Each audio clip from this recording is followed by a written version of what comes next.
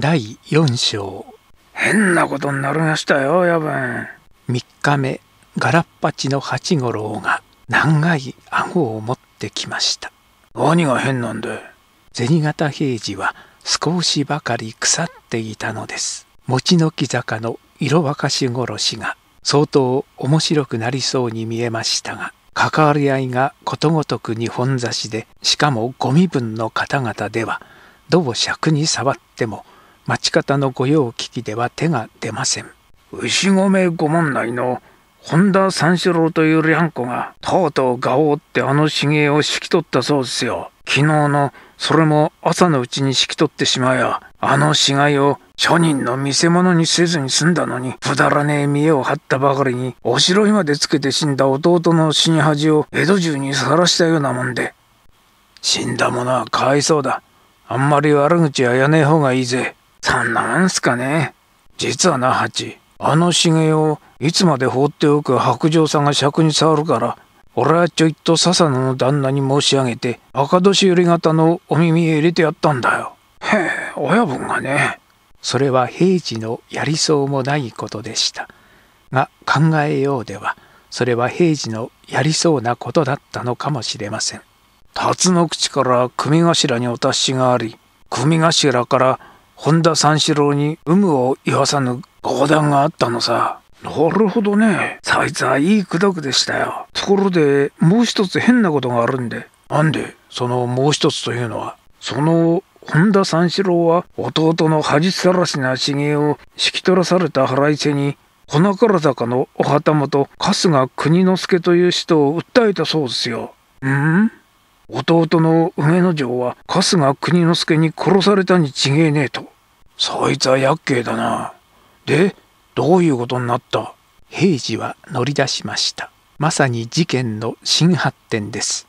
それには生き証人があるんですよ。誰だよそりゃ。あのヤクザ者みてえな浪人の平田源五郎ですよ。ええ、そいつは驚いたな。白田源五郎はあの前の晩春日国之助の屋敷の石垣の上から人の突き落とされたのを見たと言うんだそうでそうして身を潜めて様子を見ていると、春日国之助が通用門から出てきて、死骸を引きずって、餅の木坂の秋山家の門前に捨てたと、こう訴えたんだそうですよ。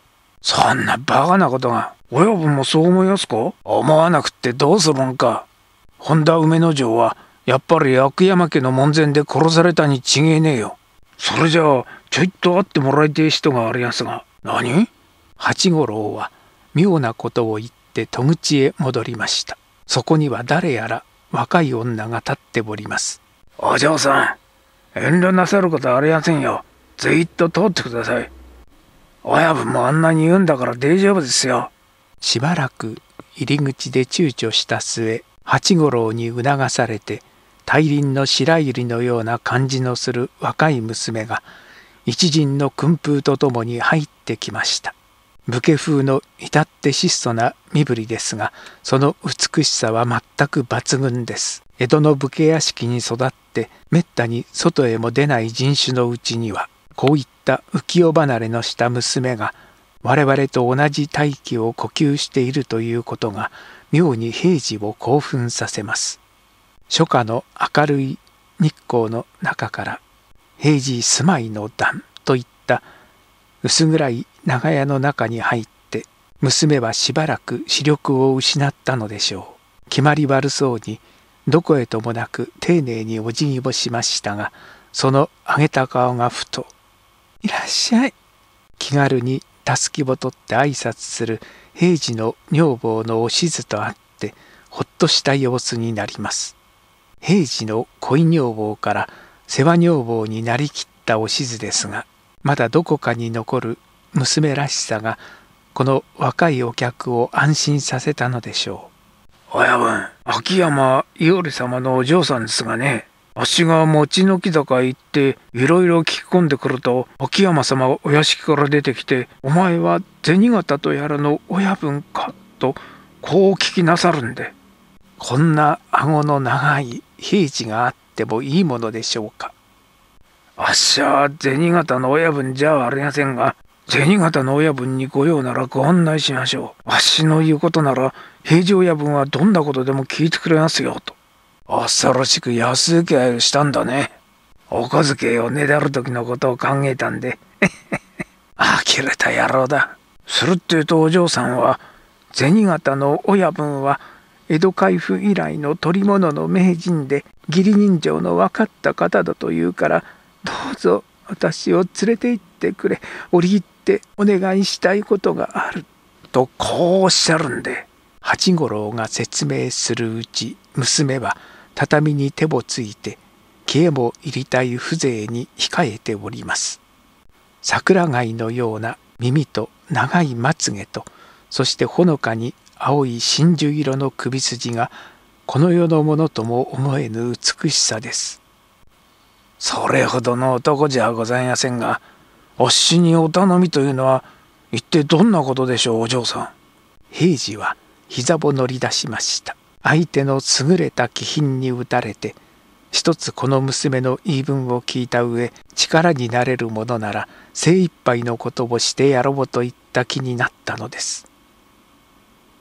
あの春日国之助様をお助けくださいましあの方は本田様ご舎弟殺しとやらの恐ろしい疑いを受けてご謹慎中でございますが言い訳が立たなければ切腹仰せつけられるかもしれぬとように大川二左衛門様が私どもまでご相談に参りました。春日様はさような方ではございません。どうぞお助けくださいませ。娘は秋山伊織の息女おゆりまだ18になったばかり。許名けの春日国之助を助けたさのこれが精一杯の努力だったのでしょう。消えも入りそうになりながらその恥ずかしさと恐ろしさを征服してようやくこう言い切るとあとはさめざめと泣くのです。なるほど。よくわかりました。足の力で及ぶことなら随分骨を折ってみましょう。あご存知の通りあっしは町方の御用聞きで、お武家方の内輪のこととなると手を出せねえどころでなく、口も聞けねえようなありさまで、力こぶを入れたところでどれほどのことができるかわかりません。そこを何とかしようと言うんですから、これは並大抵じゃございません。でも、確かな証拠さえそれや、筋道をたどって言い分は通らねえはずはねえと思います。ついちゃあっしからお聞きすることをどんなことでもおっしゃってくださるでしょうな。それはもう。おゆりは顔を上げました。涙に濡れた方が濁って黒く大きい瞳が非凡の魅力です。第一にお父上伊織様にはお病中と聞きましたが、お家のこと万端はどなたがなさいます？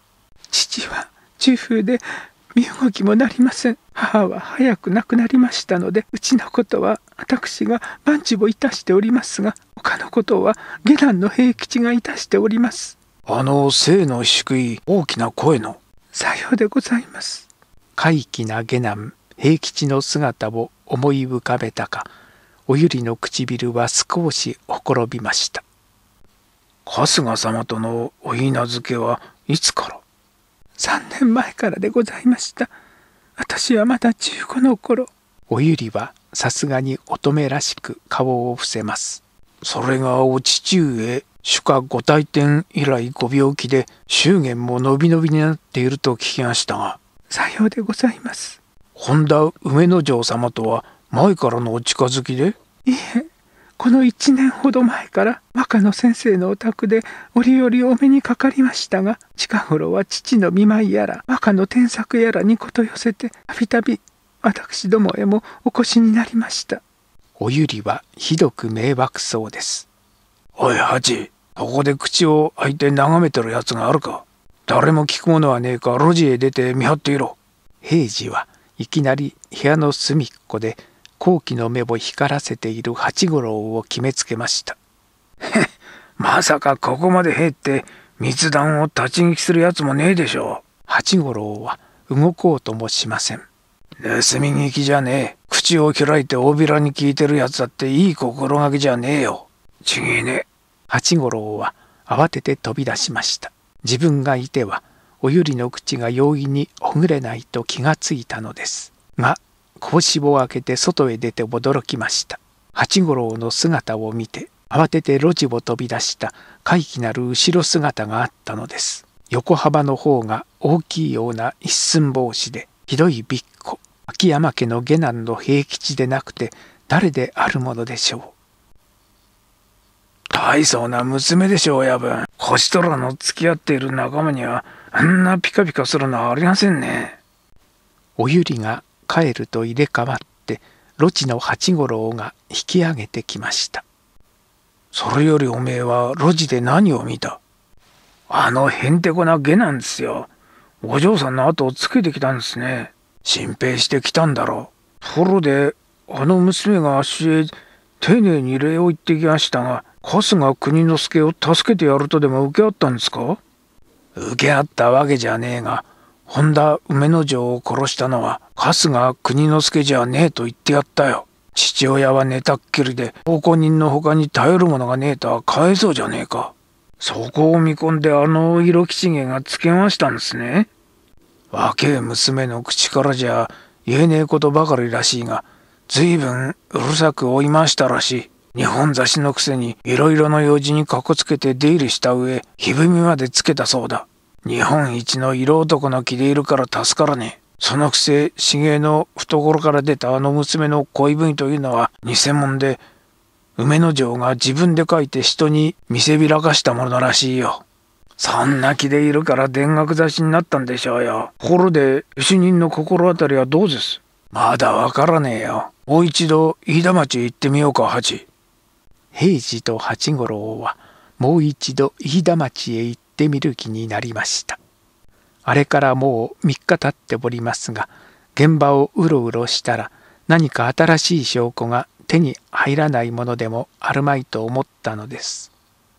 第一番に行ったのは花から坂の春日国之助の屋敷でした。旗本は旗本に違いありませんがこの辺りに住んでいるのは軒並み恐ろしい貧乏でお勝手へ回るとまことに惨憺たる浮世小路です。ご縁ください。誰じゃぬっと顔を出したのは思いきやあのやかましそうな老用人の大川仁左衛門ではありませんか。少々物を伺えすが、お前は？町方の御用を承る平次と申すもので。銭形平次は眼鏡越しにじろりと睨まれて丁寧に小腰をかがめました。ああ、銭形の親分か。いいところへ来てくれた。実はな、秋山様のお嬢様からもお前のことは聞きましたよ。打って変わっての丁寧な扱いです。恐れ入ります。さあ、こちらへ。どうぞ。連れの方は何？八五郎殿。古文書じゃな。よいとも。さあさあ、どうぞ。恐ろしく丁寧に通したのが、御用人自身の部屋らしい、お勝手に近い八畳。この通り無人でな。ろくな茶もあげられない。よく来てくれた。これよ、お松。お茶だ。いや、もうお構いくださらねえように。ところで御用人。平次は大川仁左衛門の手を叩くのを止めて膝を進めました。本田三四郎殿は名門のご一族でお高も三千石。ご一門には大目付もあれば若年よりもある。その本田三四郎殿が無理にご舎弟梅之丞様の恥さらしな死骸を引き取られたのを恨みそれを後藤家の差し金と思い込んで公儀へ訴訟に及んだのじゃ梅之丞殿を殺したのは当家の主人春日国之助に相違ないとな証拠はたくさんある粉から坂当家屋敷下の血の跡と石垣の引っかきその他生き証人として平田源五郎なども名乗ってきている。さような馬鹿げた言葉ないのだが、証拠が揃ってはもはや言い解く道はない。それはお気の毒さまですが、だがこのままお仕置きを受けては、ご先祖様へもご不幸、なんとか言い解く術もあろうかと、押してお目付に訴訟を申し上げたところ、それでは対応のお取り調べをいたそぼということになり、本日羊の刻頃、お目付椎名近江の神様直々にご見分のことと相なった。これは前例のないことだが、春日家ご先祖のお手柄に免じて格別のお沙汰と承る。老用人は絶望的な眉を垂れるのです。再三の見聞があったところで、生き証人まであっては、主人の命を救うよしもあるまいと思ったのでしょう。そりゃあさぞご心配でございましょう。あっしにもこれぞと申すほどの手立てはございませんが、できるだけのことはいたしてみせます。あんまり力落としをなさいませんように。かたじけない平次殿、主人は謹慎中でお会いできないが、頼みまするぞ。この通り。いや、とんでもねえ。拝んじゃ困ります。平次は一国者らしい老用人が畳に額をうずめるのをどんなに骨を折って止めたことでしょう。それからたった一時この切り詰めた時間に平治の活動は猛烈を極めます。まず秋山家へ行っておゆりを通じて無理に主人秋山伊織に会わせてもらいました。伊織は病床中で話もはかばかしくはできないありさまですがそれでも娘おゆりの努力でこれだけのことは聞き出せたのです。平田源五郎と秋山伊織は同伴ですが肌合いが違っているのであまり交渉はなく平田源五郎の長野糸間になったのは武士としてあるまじき不心得のことがあったためと秋山伊織は言います。どんな不正かそれはこの事件に関係もなくかつ人の火を上げるようだからとそれは打ち明けません。秋山伊織が主家を転退したのは全く主君何がしの神の色好みから起こったことですでに春日国之助という言い名付けのあるおゆりをそば近く差し出せという無法な命令があったのを秋山伊織一言のもとに断ったために逆に主家を転退するに至るまで君臣の間は急速度に組閣していったというのです。平田源五郎はその後主家帰参を願い大運動をしているという噂もありました一度ならず二度三度もおゆりを主君のおそばに差し出すようにと秋山伊織へつけつけ忠告に来たこともありますがそれは剣もほろろに追い返したということでした。多分平田源五郎はおゆりを主君のそばに差し出すのを手柄に自分の帰参を願っているのでしょう。